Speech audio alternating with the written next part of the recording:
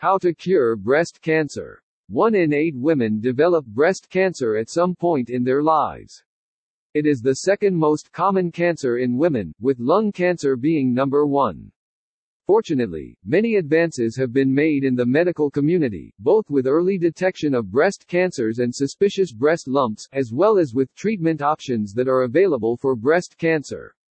If you have been diagnosed with breast cancer, and the stage is not too advanced, it may very well be able to be effectively treated and cured. Opting for medical treatment.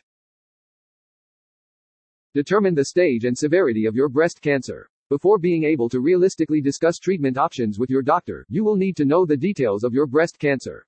Things to be aware of include whether it is present in one or both breasts, the size of the tumor, whether there is one lump or multiple lumps, and whether or not it has spread to the lymph nodes in your armpit and or to other areas of your body called metastasis. All of this information will help your doctor to determine the stage of your cancer, which will in turn dictate your treatment options. The stages of breast cancer are Stage 1, the tumor is localized to the breast and is less than 2 centimeters in diameter. Stage 2, the tumor is present in the breast and axillary armpit lymph nodes.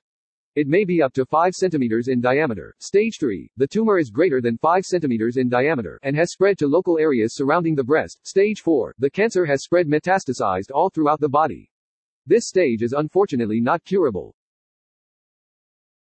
Opt for surgery. If breast cancer is detected, the most common first line of treatment is surgery.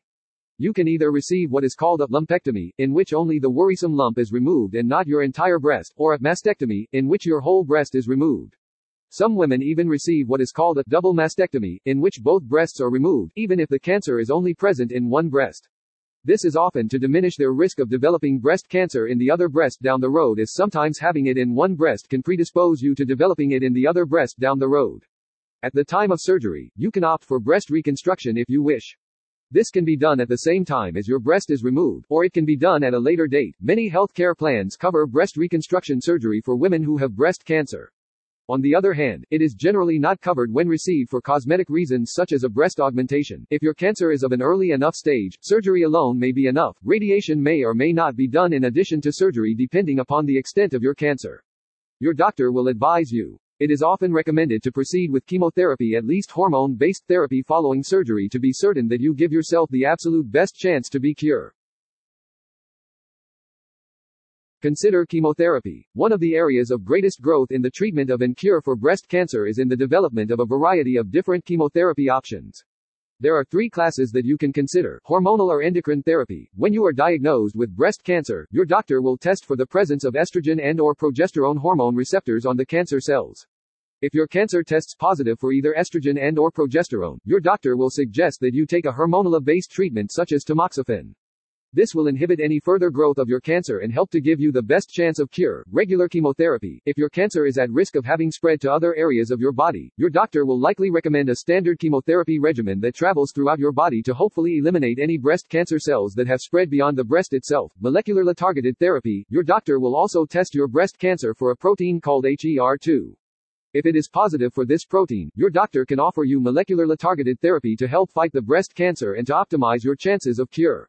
These agents include trastuzumab and lapatinib, which both treat HER2 positive breast cancers. Have your axillary armpit lymph nodes examined. Since surgery is almost always the first line approach to the treatment and cure of breast cancer, at the same time as the surgery is being performed, the surgeon can also take a first hand look at the lymph nodes surrounding your breast and in your armpit. Visualizing these lymph nodes is key, as the presence of cancer cells in the lymph nodes will alter your doctor's approach to treatment. Your doctor may also do a sentinel node biopsy, in which the lymph node most likely to be infected with cancer is removed and tested. This lymph node is identified when the surgeon injects a dye or radioactive substance near the tumor, then looks for which lymph nodes are dyed or radioactive. The node is then removed and tested for cancer cells. If the cancer has not spread to your lymph nodes, usually a combination of surgery followed by hormone therapy such as tamoxifen is sufficient to cure your cancer. On the other hand, if it has spread to your lymph nodes, your doctor will advise surgically removing the affected lymph nodes as well as the affected breast, and also offering you a generalized chemotherapy regimen in addition to hormone therapy. Note that, if your cancer has spread beyond your lymph nodes into distant areas of your body, a complete cure of your cancer will not be possible. The cancer can only be completely cured if it is isolated to the breast itself, or if your doctor is able to remove the lymph nodes prior to any further spread beyond them.